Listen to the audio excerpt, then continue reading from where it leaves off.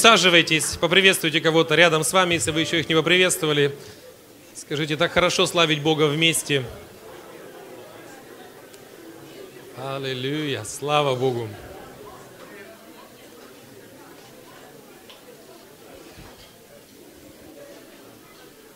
Если вам нет места, вот здесь впереди есть два места, вот здесь тоже впереди два места есть. Сестры, проходите сюда, вот есть впереди. Проходите вперед, не бойтесь, проходите вперед. Проходите, проходите, проходите, дорогие, впереди есть место. Хотим поприветствовать тех, кто первый раз у нас в церкви. Поднимите руку, помашите. Мы хотим сказать добро пожаловать вам. Добро пожаловать, будьте благословенны. Будьте благословенны. Я был в поездке, я был э, в Иркутске у мамы. Ездил, навещал маму. Э, люблю мою мамулечку. Она живет раз в полгода, получается, к ней съездить, побыть вместе, помолиться. И это здорово. Здорово быть с мамой. Аминь. Потом, потом я был в Ачинске, там церкви, церкви 25 лет. Это та церковь, откуда родилось движение церквей «Краегольный камень». Э, удивительная церковь, э, прославление, поклонение, пророческая культура. Э, удивительная просто атмосфера. Большая церковь. Ачинск, город 105 тысяч населения, а церковь 800 человек. И у меня такое чувство, что это сибирский вифиль. То есть слышал, вот, вот такая там атмосфера. А потом я приехал в Красноярск на конференцию, где наши, наши где-то человек 20 со Щелкова, они сейчас до сих пор там. Поэтому тут, видите, вот, вот сегодня у нас посвободнее вроде бы 20 человек в Красноярске. А встретился с сыном, который приехал с учебы, а и вот мы смогли увидеться два дня. Мало, конечно же. Я как родитель, у меня четверо детей, двое старших, они уже вылетели из гнезда. А сын, он учится, улетел учиться, дочь ну, закончила учебу, в Москве живет, сейчас вернулась моя доченька, ну, с нами живет, слава Богу. Сердце, сердце папина радует. Слава Богу. И так хорошо вернуться домой. Вы не представляете, как хорошо дома, как хорошо в церкви. Аллилуйя. Как хорошо здесь просто. Вы не представляете. Вот хорошо там было, там, но вот здесь лучше. Вот дома лучше. Вот, дома так хорошо. Аллилуйя. Мне уже прославление началось, мне уже хорошо, уже ничего и не хочется. Ну, слава Богу. Но Э, сегодняшняя наша тема, мы проходим а, обучение сейчас всей церкви, тема называет, а, а, тема сегодняшняя – преображение через Божье Слово. Мы поговорим несколько слов о том, о важности Библии в нашей жизни, зачем Бог дал нам Слово Божье, и потом мы все вместе примем святое причастие. И давайте помолимся, попросим благословения. Отец Небесный, мы просим Тебя, благослови нас сейчас, когда мы будем слушать Твое Слово. Мы просим Тебя, говори нам во имя Иисуса Христа. Аллилуйя. Боже, Дух Святой, говори нам, веди нас, направляй нас во имя Иисуса. Аминь. А, мы проходим обучение всей церковью, и а, каждый день мы читаем места Писания, мы провозглашаем Слово Божье, мы смотрим отрывки из проповедей, мы обсуждаем на домашней группе эту тему, прослушиваем проповедь. А? а? Да нет, в принципе, сегодня не надо. И я, прошлое воскресенье у нас тема была а, ценность, ценность Божьего присутствия. Владимир проповедовал, и слышал такие хорошие отзывы. Из-за того, что я был на этой конферен... на конференции, все дни Володя, каюсь, не смог прослушать, я обязательно прослушаю. Но такие отзывы были просто замечательные. Давайте даем славу Богу за Владимира. Аллилуйя. За, бра... за братьев, за всех нас, что, вот, что пастора вы можете отпустить, чтобы он учился. А, говорят, каков поп, таков приход. Если ваш поп растет, то вы будете расти. Спасибо, что позволяете мне ездить, учиться, и вместе со мной тоже мы растем все вместе. Итак, а, а, первое, что нам нужно сказать, когда мы говорим о Библии, что цель Библии – привести нас во взаимоотношения с ее автором, с Богом. Библия была написана не дать, не дать нам детальное молекулярное описание а, процессов при сотворении мира. Хотя Библия говорит о том, что Бог сотворил этот мир – а, Библия подчеркивает факт, что мир сотворен Богом. Но все-таки цель Библии – привести нас ко взаимоотношениям с ее автором и преобразовать нас в его, в его подобие. В Евангелии от Иоанна 5 главе, давайте прочтем 39 стихе. Слава Богу. Евангелие от Иоанна 5, 39. Иисус говорит здесь иудеям, Он говорит, вы исследуете Писание, ибо вы думаете через них иметь жизнь вечную, а они свидетельствуют обо мне но вы не хотите прийти ко мне, чтобы иметь жизнь. Все Писание от корки до корки, оно, оно говорит об Иисусе Христе и о том, э, вся Библия, она как бы разделена на четыре части. Первая часть Библии, она описывает совершенное Божье творение. Бог создал этот мир, создал землю, Эдемский сад, поместил туда человека, чтобы приходить общаться с человеком в прохладе дня, и чтобы человек Эдемский сад распространял по лицу земли. Аминь, аллилуйя. Это первая часть. Вторая часть Библии мы видим, как э, пришло сатанинское обольщение. Дьявол обманул. Обманул Адама и Еву, он оболгал Бога, сказал, Бог нехороший, Бог недобрый, вам кушать не дает. И человек впал в грехопадение. С грехопадением пришла смерть, пришел стыд, а, а, пришла ненависть. А, уже, в первом, уже в следующем поколении дети, родившиеся у Адама и Евы, один из сыновей убил другого. С грехопадением а, человечество стало, человечество отдало власть над землей и попало под власть сатаны. Земля, власть над землей была отдана сатане. Это вторая часть Библии. Но уже в Эдемском саду Бог пообещал, что Он пошлет семя жены Иисуса Христа, который умрет за грехи человечества. Это Иисус Христос, Сын Божий, Бог, совершенный Бог, ставший совершенным человеком. Он пришел на эту землю, э, и вся Библия, весь Ветхий Завет – это обещание, это обещание того, что Христос, Спаситель, придет, и ожидание Спасителя. Новый Завет – это исполнение того, что люди ждали в Ветхом Завете – Новый Завет – это исполнение. Обещанный Спаситель мира пришел. Новый Завет начинается с древа, с описания, а, как, как родился Иисус Христос. Новый Завет есть исполнение того, что было обещано в Ветхом Завете. В Ветхом Завете было больше 300 раз сказано о том, что Он придет. В жизни Иисуса Христа исполнились 300 обетований из Ветхого Завета, пророчеств в жизни одного человека, Иисуса Христа, Бога-человека – то есть вет, ветхом, весь Ветхий Завет указывает, указывал на грядущего Спасителя. Лишь в день смерти Иисуса Христа исполнилось 29 пророчеств, предсказаний о нем из Ветхого Завета. Новый Завет описывает жизнь и служение нашего Господа Иисуса Христа.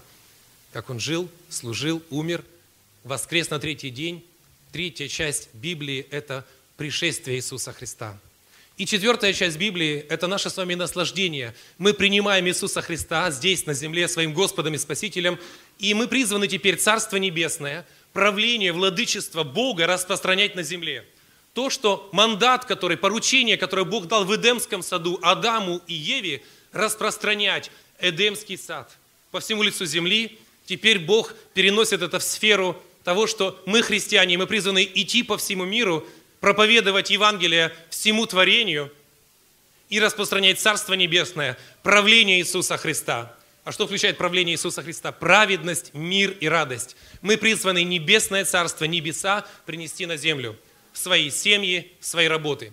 Мы призваны преобразить этот мир. Аминь. Аллилуйя.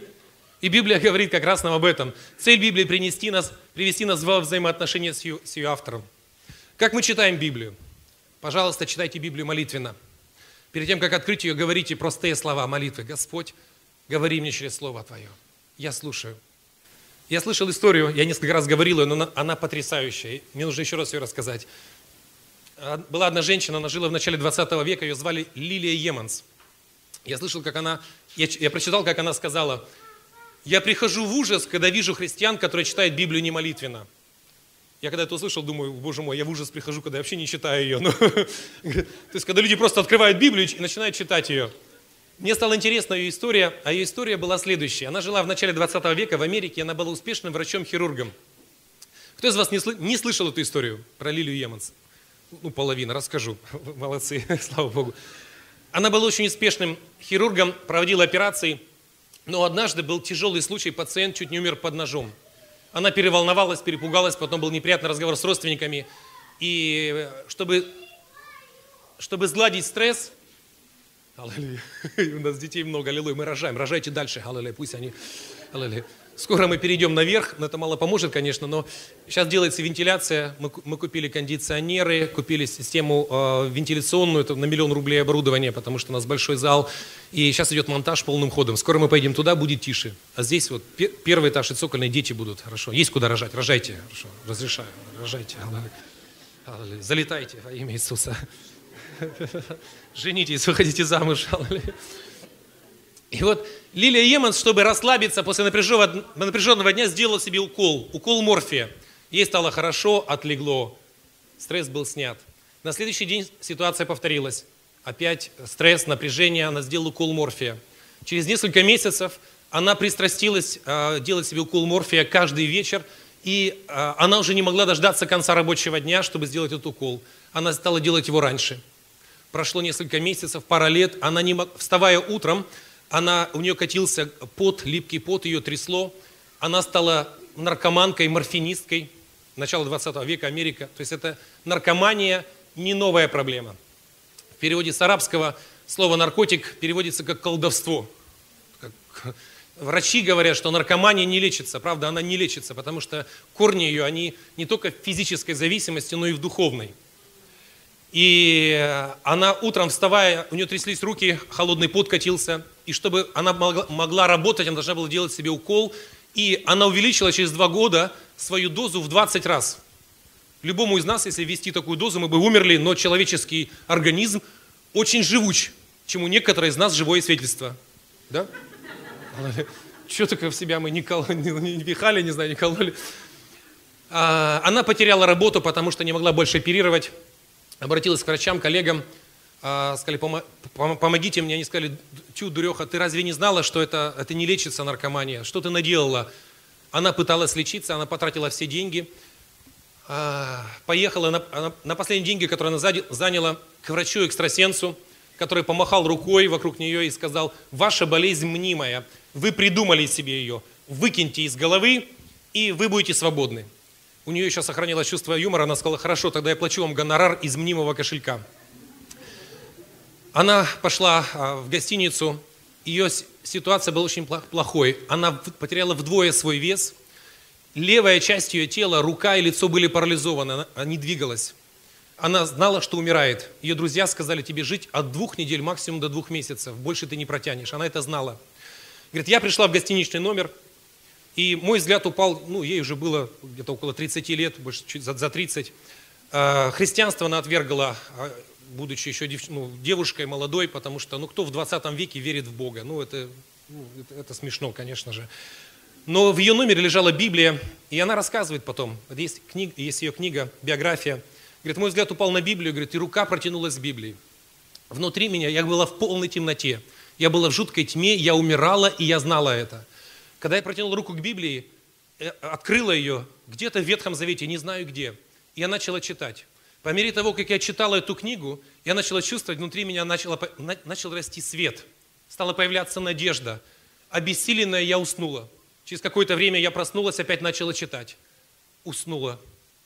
А, проснулась опять, начала читать, проголодалась, поела. Три дня и три ночи я читала Слово Божье. Читала, спала, читала, спала, читала, спала. Через три дня у меня прошел паралич.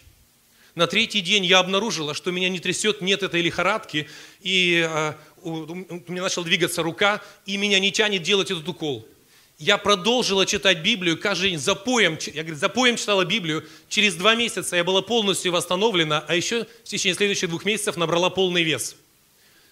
И эта женщина, Лилия Еменс, она очень, а, а, она удивительная женщина. Она подумала, это со мной что-то не так, ну такое исключение. И как многие любознательные женщины, женщина очень любознательная, слава Богу, аллилуйя. Что бы мы без вас делали, слава Богу. Если бы не ваша любознательность, мы бы холостые остались тоже. Ладно, это, аллилуйя. Это не, ладно, это шутка была вообще. Ну так вот, она решила проверить, это со мной только такое странное происшествие случилось.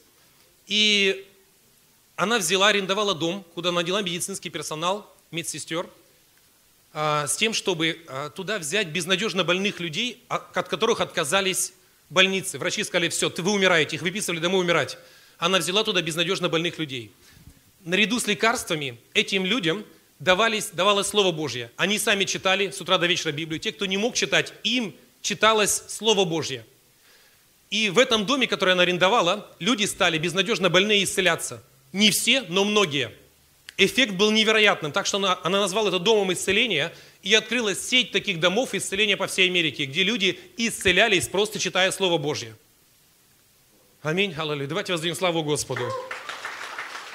Что с ней произошло? Он говорит, когда я читала, когда я читала Библию, внутри меня зажегся свет, говорит, и я поняла, что Иисус Христос, о котором я слышала в детстве, о котором Библия говорит, что Он живой, я пригласила Его в свою жизнь, и говорит, когда меня спрашивают, какое место Писания, какой стих из Библии вас исцелил, И она говорит, я не могу сказать, какое место Писания меня исцелило. Меня исцелила вся Библия. Почему? Потому что, когда мы читаем, Библия – это Слово Божье, Евреям 4.12 сказано, что Слово Божье живо и действенно. Христос сказал, слова, которые я говорю, они есть суть дух и жизнь. Когда мы, вот, послушайте, вот эта книга является Божьим Словом, данным дыханием Бога, выдохнутым Бога. Вот так вот Бог вдохновил авторов, вот, скажем, автор вот Исаия, скажем, Володя Исаию играет, не играет, но и Бог вдохновил Духом Святым Володю, и Володя взял и написал, ну, Исаия взял и написал книгу Исаия. Он вдохновил своим Духом Святым, вдохнул в него желание, понимание картины, как написать. И а, а, это, эта книга, она, ее автор Бог. Это Божье Слово. Но это Божье Слово дано через человеков. Как знаете, в Питере есть Зимний дворец. А кто его построил? Помните, архитектор? Расстрели, да. Не расстрелян он, а расстрели. Как его? Варфоломео Расстрели. Он построил Зимний дворец. Мы говорим, да? Но на самом деле он даже камня не положил, ни одной доски не прибил. Он был автором, он был проектировщиком, он был мозгом, тот, кто начертил этот проект, но строили люди. Автор Библии – Бог. И дал он ее через людей. И когда мы читаем Слово Божье, Божий Дух, Божье дыхание, Божья жизнь сходит на нас, и мы оживаем. Аллилуйя. Это удивительное свойство Библии. Это не мертвая книга, это живая книга, которая, Мартин Лютер говорил, когда я читаю Библию, Христос ожива, как будто бы оживает, э, как, как, будто, не знаю, как будто это портрет Иисуса Христа, и когда я читаю Библию, этот Христос оживает, обнимает меня, прижимает к себе и ощущая Его любовь. Аллилуйя. Библия – это Слово Божье, и когда мы читаем его, Бог обращается к нам. Мы получаем Его жизнь мы получаем исцеление, мы получаем спасение. Аминь, аллилуйя. Так важно читать Слово Божье. Аллилуйя. Второе, мы уже сказали об этом, личные встречи с Богом. У Лили Еманс произошла личная встреча с Богом. Личные встречи с Богом во время чтения Библии, во время чтения Писания высвобождают веру. Это правда, когда мы читаем, знаете, когда мне тяжело, вот я как-то помню в Вильнюсе в библейской школе, Э, у меня не было работы долгое время, несколько месяцев, я нашел работу. И я работал три недели, вот так вот, с утра до вечера, с утра до вечера, с утра до вечера. Некогда было Библию читать, некогда молиться было. И еду в троллейбусе, и вдруг, ба, кругом женщины. Весна, и они все какие-то заголенные. И у меня, думаю, облава какая-то на меня, на молодого парня, мне 21 год. Тут, тут она идет в мини-юбке, тут, короче, тут глаза вверх поднимают, тут реклама. Я думаю, господи, что такое, откуда они все взялись? И я слышу, как Дух Святой мне говорит, ты давно кушал? Я говорю, в смысле кушал? Сегодня утром он говорит, ты давно мое слово читал. И я, вспомнил, я понял, что уже три недели я не читал Слово Божье, я не кормил, я не питал мой дух. Когда мы питаем наш дух, когда мы читаем Библию, мы встречаемся со Христом, послушайте, у нас в сердце рождается вера, а вера – это духовная сила, которая помогает нам жить свято, жить в чистоте. Мужчинам смотреть на женщин в чистоте, а женщинам тоже. Аллилуйя. И на женщин, и на мужчин. Ладно, это аллилуйя, наша современность. Когда мы читаем Слово Божье, Бог обращается к нам. Мы встречаемся с Ним. И когда мне тяжело, знаете, когда бывают моменты, когда вот ну, что-то придавило, тяжко, я знаю, мне нужно уединиться. Мне нужно где-то уединиться с Библией, открыть ее, помолиться, сказать, Господь, пожалуйста, говори мне через Слово Твое. И я медленно, вдумчиво читаю Библию до тех пор, пока не почувствую, как Бог не начнет говорить мне через с этих страниц в мое сердце. Я читаю одну главу, ничего не понимаю. Вторую главу, вот когда ты уставший, третью главу ничего не понимаешь. На четвертой главе знакомое слово «О, Иисус, надо же». На пятой главе что-то уже начало проясняться. На шестой главе уже, уже думаешь не о чем-то своем, а уже сосредотачиваешься на тексте. На десятой, одиннадцатой главе вдруг ощущаешь, как Дух Божий как будто открыл эту книгу для тебя, и она начинает говорить. Где-то месяц назад я читал Евангелие от Матфея, 12 главу.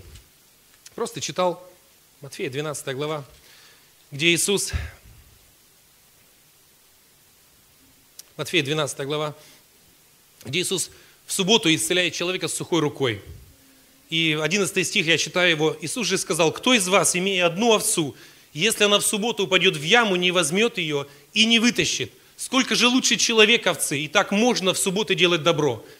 Слушайте, ну, Иисус проводит эту параллель, вот он просто, я читаю это место Писания, это месяц назад, и мне Господь говорит про эту овцу, если говорит, есть столько овец в церкви, которые были в церкви, сейчас они в ямы попадали.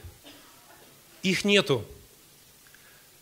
И он, он говорит, ну, есть много валов, которые попадали в ямы, это служители, их нету. И Господь мне говорит, неужели ты не пойдешь, не вытащишь их?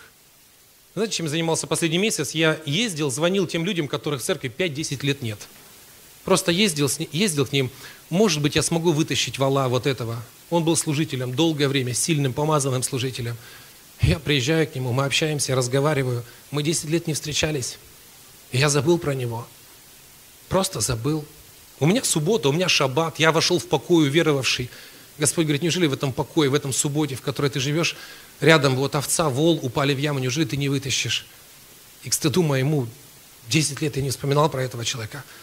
Я другому звоню, третьему, мы встретились, помолились. Кто-то из них очень тяжелые времена проходил, жуткие времена. Я все же думаю, Боже мой, не знаю, может быть, я смогу вытащить кого-то из этой ямы.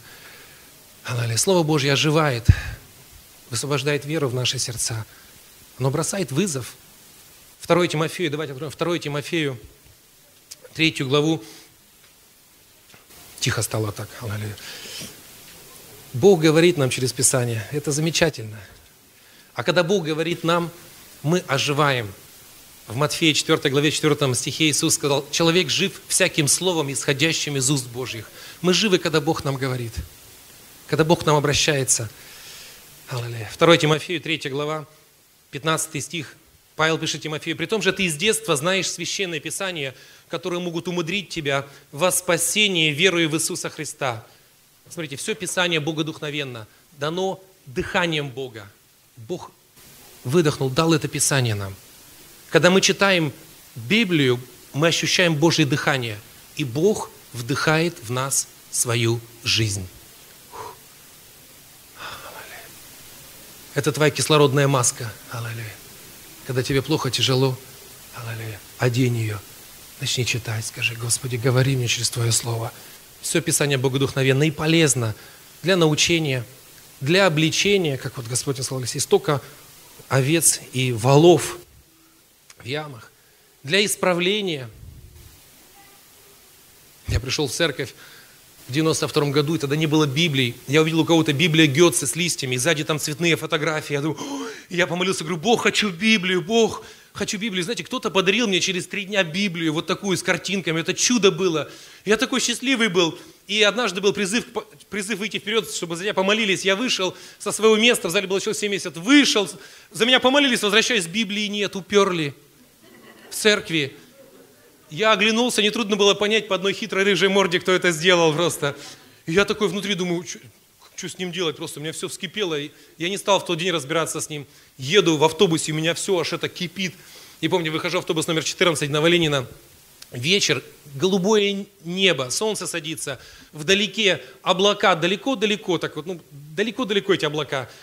И у меня все кипит, говорю, Господь, что с ним сделать, что с ним сделать, мне прям все кипит, что с ним сделать. И у меня внутри приходит этот стих, ну, прощайте, когда стоите в молитве, прощайте. Я все, что тогда знал на из Библии, там сколько, 2-3 месяца церкви, прощайте. Я говорю, Бог, что его простить надо, что ли? Дай мне какое-то знамение. И вдруг среди ясного неба, вы не поверите, я, я метеоролог по образованию, мое первое образование, я инженер-метеоролог. Вдалеке на горизонте облака. Если даже там, ну, как, как разряд будет молнии, будет зорница, но звук не дойдет. Вот когда на горизонте полыхают зорницы, вот молнии, э, но звук не доходит, называется зорницы, но далеко очень. И вдруг вот из тех далеких облаков не молния, а грохот такой. Ду -ду -ду -ду -ду. Я говорю, Господь понял, я прощаю его. Прощайте. Писание полезно для исправления, для наставления в праведности. Сколько раз бывало, вот для наставления в праведности, вы знаете, что а, когда мы читаем Слово Божие, вот, вот это очень важно, можно вернуть, Даш, вот эту вторую часть, что когда мы читаем, слушайте, когда мы кушаем, Библия называет Слово Божье хлебом для нас, молоком, молоком и хлебом. И когда мы питаемся Словом Божьим, наш внутренний человек, он получает силу, у нас рождается духовная сила, энергия, которая называется вера. И она дает нам твердость, мужество, аллилуйя, жить, жить праведно, жить жизнью угодной Богу. Книга Иисуса Навина, Бог три раза говорит Иисусу Навину, будь тверд и мужественен, будь тверд и мужественен, тогда ты возьмешь обетованную землю, тогда ты войдешь в обетование. Вот эта твердость и мужество исполнить волю Божию приходит, когда мы вникаем в Слово Божье, размышляем над Ним, позволяем Богу говорить нам. Аминь. Аллилуйя. Тебя я люблю, мой Бог, Тебя я. Бог назначил встречу с тобой. Я вспоминаю, как после Второй мировой войны судили одного японского генерала. Он руководил а, карательными операциями. Он сам казнил людей, расстрелял. Не просто руководил, он сам собственноручно множество людей убивал. Его приговорили к смерти, и э, несколько католических монахинь попросились, говорит, можем мы с ним побеседуем? камеру войдем. Охранники сказали, он зверь. Вы что, мы, мы заходим туда на, готов, на готове несколько мужиков, потому что он, он, он, он вообще безумный, он одержимый человек. Они все равно попросили, ну хорошо, с охраной, пустите нас с охраной к нему. Они зашли с охраной, только они произнесли имя Иисус, он накинулся на них с кулаками, с матами и выгнал их. Одна из монахинь случайно обронила Библию. Они ушли. Он начал читать, ну, это был Новый Завет, он начал читать его. Через несколько дней охранники заметили перемену в его поведении. Его лицо просветлело, на, лиц, на, на щеках появились слезы. Он перестал бросаться на людей. И когда его спросили, что с тобой произошло, он говорит, я, а, он уверовал во Христа, он говорит, я понял, что я, а, кто я, что я натворил. Я понял, что я заслуживаю наказания, но я знаю того, кто умер за мои грехи, и у меня есть надежда, надежда, что он простит меня. Он обратился ко Христу. Конечно, нам вот по-человечески, но его казнили.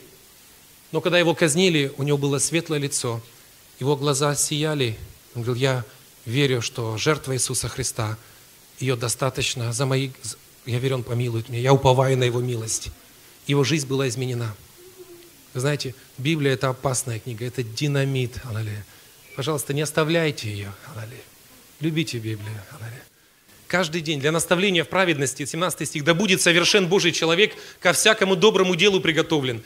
Вы знаете, совершенство в Библии мы видим, это не идеальность. Совершенство – это готовность ко всякому доброму делу. Когда мы позволяем Писанию исправлять нас, наставлять нас, аллилуйя. Внутри нас живет Дух Святой. Вы знаете, удивительно то, что Бог дал нам Дух Святой в наше сердце, дал нам новое сердце, плотяное сердце, написал на нашем сердце заповеди свои – дал силу Святого Духа, чтобы мы жили новой жизнью, и также дал нам Писание, чтобы мы наш разум обновляли, наши мысли, наши, вот то, что здесь вот в голове у нас есть, потому что, ну, если мы это не обновим, то то, что в сердце написано, никогда не выйдет наружу. Бог хочет, чтобы мы обновляли наш разум. Аминь. И мы будем совершенны. Скажи, я буду совершенен.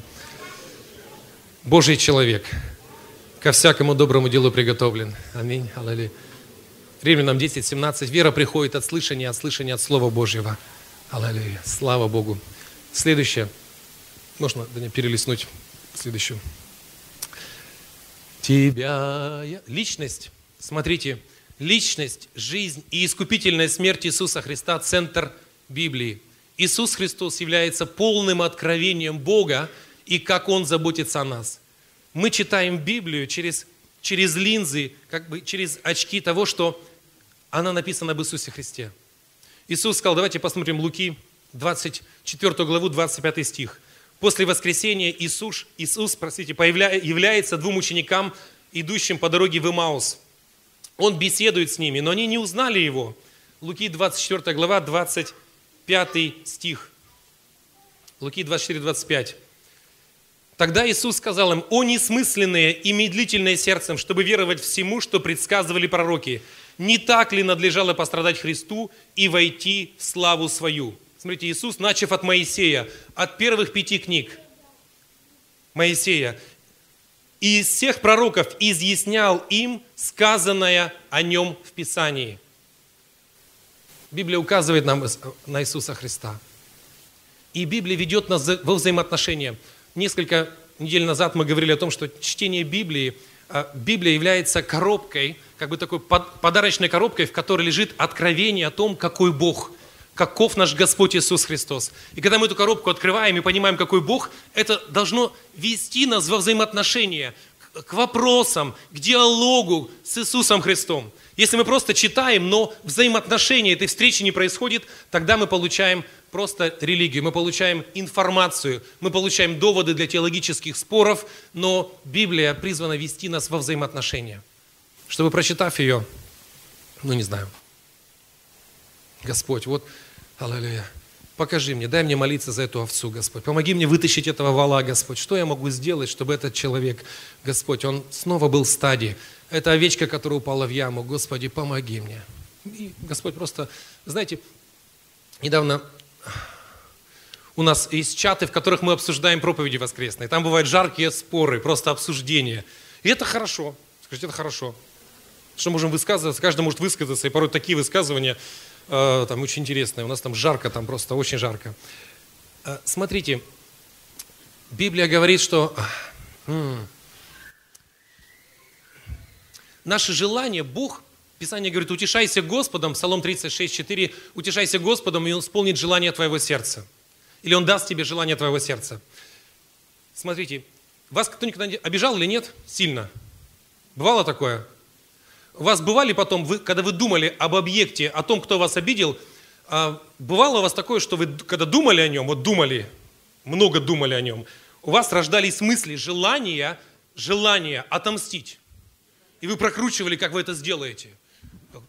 Или там, ну, или, ну, было или нет такое? Ну, вспомните старую жизнь. Сейчас этого нет уже, конечно же, нет. Нет, вообще. Вообще нету абсолютно такого. Но но когда вы размышляли о том, кто вас обидел, и чем дольше вы размышляли, у вас появлялось желание как-то отомстить или проучить, чтобы с ним что-то произошло. Согласны? Нечестивое желание. Они как целились, вот появлялись. Слушайте, вот это негативный пример. Но если мы думаем о Боге, о Его благости, о Его любви, размышляем о Нем, молимся Ему, как вы думаете, желания, которые в этот момент появятся в нашем сердце, они от кого будут? Или от дьявола? А? От Бога. Бог даст нам желание, благочестивое желание. Когда мы читаем Библию, она открывает нам природу Бога, Бога Отца. И когда мы, это ведет нас в отношения с Ним, и мы поклоняемся Ему, поем.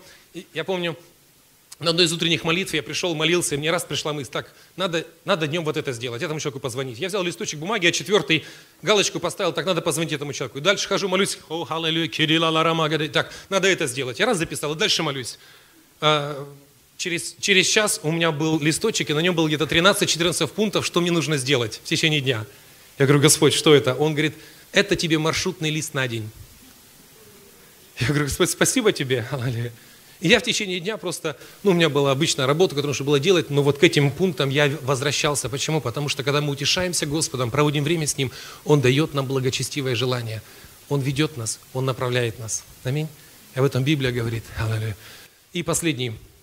Библия – источник непогрешимой истины, авторитет, которым мы судим наш опыт и пророческие откровения. Все, что нам приходит в голову, картины, видения, желание что-то сделать,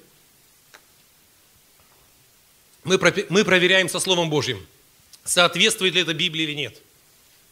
Угу. Конечно, не все, ну, ну к примеру, а, как-то прошлым летом я в воскресенье встаю и говорю, Бог Отец, покажи мне, что ты сегодня делаешь вот в церкви. И я вижу картину, я вижу видение, картину. Вот Библия говорит о том, что юноши будут видеть видение. Хорошо, я юноша, в полном расцвете сил. Аллилуйя. Я вижу видение, я вижу закатанные рукава у Бога Отца. Как-то я понимаю в этом видении, что это Бог Отец, закатанные рукава. И мне Бог говорит, мне приходит такая мысль, я сегодня занимаюсь церковью. Это было настолько явно, настолько явственно. А скажешь, ну, скажешь, Алексей, а вдруг это не Бог тебе сказал? Ну, а может Бог? Хорошо, надо проверить. Но, но уже, как сказать, годы прошли, когда что-то я слышал от Бога, и я проверял, это Бог или не Бог. Сейчас я уже знаю, чувства навыкам приучены к развлечению добра и зла. Я чувствую, я понимаю, это Бог. Ну не может быть. Ты видишь закат на рукава, Бог говорит, я сегодня занимаюсь церковью. Я прибегаю в церковь, это было летом, на воскресное собрание. Я забыл даже проповедь приготовить. Мне интересно, стою здесь, прославление идет. И я спрашиваю, Бог, ну, ну покажи. Первая песня, вторая, третья. Я говорю, Бог, ну что ты делаешь? Покажи мне, ты занимаешься церковью. И я вижу, как камера как будто бы отходит, и я вижу Бог Отец с закатанными рукавами, Он а, с тачкой навоз развозит в саду, и мы его сад. И он каждому в этом саду подвозит навоз, удобряет. Я вижу такую картину. Вообще не религиозную. Ну, вот такую, ну, картину. Ну, скажет, кто скажет, кто чей-то разум оскорбится. Бог с тачкой навоз развозит. Пастор Алексей, ты что, ты куку? Вот тут, чтобы это куку или не куку понять, я, мне тут же приходит Дух Святой, чтобы знать, Бог нам говорит или нет, нам нужно, чтобы Слово Божье было в нашем сердце, чтобы здесь было хранилище Слова Божьего. И мне приходит стих из Евангелия Иоанна, 15 главы, 1 стих, где Иисус говорит, «Отец мой виноградарь, Отец мой садовник». Вдруг этот стих, о котором я читал 26 лет в Библии, он ожил. Я вижу Бога Отца, Бог открыл мои духовные глаза. И что делает Бог Отец? Он ухаживает. Садовник, что делает садовник? В носу ковыряется. Сидит, он в саду ухаживает за своими деревьями. Мы его деревья, и мне приходит другое место Писания, вдруг приходит любимое насаждение. Я думаю, так, это где-то в Библии. Беру телефон, э, нахожу в поисковике. Это Исайя 5 глава 7 стих, где Бог говорит, я взял в Египте лозу, насадил ее, сделал себе виноградник, сад. И он говорит, мужи Иудины, мое любимое насаждение. Я считаю другой перевод, там сказано, народ израильский, мой любимый сад. И мне Бог говорит, церковь Щелкова, вы мой любимый сад. Аллилуйя. Кстати, Бог что сегодня делает? Вот Он трудится среди нас, Он любит тебя, аллилуйя. Удобряет тебя. Жуков, аллилуйя. Жуков снимает, вредителей всяких, которые в кору головного мозга залазят мысли. У кого есть кора? Там какие-нибудь жуки водились, нет? У меня такие иногда жуки заводятся. Я аж головой так вот трясу, думаю, боже ж ты мой, откуда ты такой прилетел-то, жучара?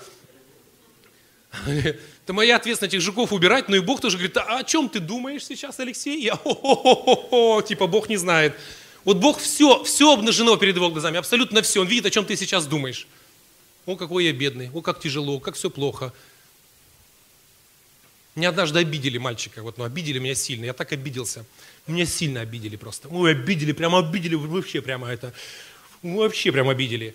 И я такой прямо Господу плачу, говорю, Господь, меня так обидели вообще, даже оправдываться не знаю, как будто вот меня взяли, распяли невинного. И в какой-то момент, какой-то доли секунды, я вот такой, ну, мне такое чувство, что, ну как, я вижу картину, как будто я распят, ну как, вот, да, вот меня обидели, распяли, обвинили в том, что я не делал. И я в сторону взгляд отвожу и вижу Иисуса, умирающего на кресте, окровавленного, и мои глаза с ним встречаются. И я понял, Господи, все, у меня вопросов нет. То, что Ты пережил – то, что ты прошел, умер за грехи, тебя уж обидели так, тебя обвинили в том, что ты не делал. И тебя убили за то, что ты не делал. И ты всех простил. И я тут такая вот, вот такой вот, весь такой из себя. Я говорю, Господь, ну вот я прощаю, конечно, я прощаю, Господь, вообще, вообще вопросов нет, я прощаю. Аминь. Это наш духовный опыт, и, конечно же, этот духовный опыт, он судит со Словом Божьим, Писанием. И это соответствует Писанию. Аминь. Аллилуйя. Слава Богу. В рады сегодня? Аллилуйя. Давайте поднимем руки. Аллилуйя. Давайте встанем. Аллилуйя. Поднимем руки к Нему. Аллилуйя. Давайте все вместе скажем, Бог Отец, я благодарю Тебя за Твое Слово, которое Ты мне дал, чтобы я был совершенным, готовым ко всякому доброму делу. Боже, помоги мне – не останавливаться, когда я читаю Твое Слово. Помоги мне общаться с Тобой, спрашивать Тебя, задавать вопросы. Я хочу встречаться с Тобою, когда я читаю Твое Слово. Боже, эти встречи с Тобой, когда Ты оживляешь свое Слово для меня, это производит веру духовную силу. Это дает мне твердость, чтобы исполнять волю Твою, делать то, что правильно. Я благодарю Тебя за Твое Слово. Спасибо, Иисус, за то, что Ты открыл Бога Отца. Я могу знать, какой Бог читает Твое Слово. Я благодарю Тебя за Твое Слово. Я люблю Тебя, Иисус. Я благословляю Твое имя. Прости меня, Господь, что я пренебрегал Твоим Словом, и поэтому часто чувствовал себя слабым, колеблющимся, не знающим, что делать. Прости меня. Я буду кушать, я буду принимать Твое Слово, которое есть пища для моего внутреннего человека. Аллилуйя. Господь, мы так благодарны Тебе. Папочка, мы любим Тебя, мы славим Тебя. О, аллилуйя, спасибо Тебе. Спасибо, Отец Небесный. Аллилуйя. У нас сейчас будет время причастия. Мы еще будем молиться. Перед причастием хочу спросить тех из вас, кто никогда не принимали Иисуса Христа Господом и Спасителем, а вы можете принять Его сегодня в свое сердце. Ваша жизнь изменится. Иисус живой и воскресший. Скоро мы будем праздновать светлое воскресение Христова. Будем, вся страна будет кричать «Христос воскресе!» воистину воскресе. Он воскрес. Аллилуйя. Уже две тысячи лет. И Он является посредником между нами и Богом. И Он всегда жив, чтобы ходатайствовать за нас, чтобы принимать тех людей, которые обращаются к Нему, принимать их в небеса, принимать их Богу Отцу. Как принять Иисуса Христа? В молитве. Вы скажете, в какой молитве? В молитве покаяния. Вы скажете, я не знаю ее, я хочу с вами помолиться этой молитвой покаяния. Давайте перед причастием мы поможем тем людям, которые пришли первый раз, или, может быть, не первый раз, но вы никогда не молились этой молитвой. Давайте мы все вместе поможем им помолиться. Скажите вслух слова этой молитвы покаяния. Скажите, Господь Иисус, я верю в Тебя. Я верю, что Ты Сын Божий, что Ты умер на кресте за меня, за мои грехи. Ты пошел в ад вместо меня, чтобы я не был наказан – и не оказался в аду. Иисус Христос, я грешник, прости мне мои грехи, омой меня своей кровью, очисти меня от всех моих грехов и войди в мое сердце. Будь моим Господом, будь моим Спасителем. Я отдаю мою жизнь Тебе. Спасибо, Отец Небесный, что прямо сейчас – ты принимаешь меня и делаешь своим ребенком. Во имя Отца, Сына и Святого Духа. Аминь. Аллилуйя. Слава Господу. Аллилуйя. Если вы сегодня приняли Иисуса Христа, мы поздравляем вас. Обязательно скажите об этом кому-нибудь. Скажите, я сегодня вот Иисуса принял. Аминь. Аллилуйя. А если даже не скажете, все равно это, замет, это будет заметно. Это будет заметно.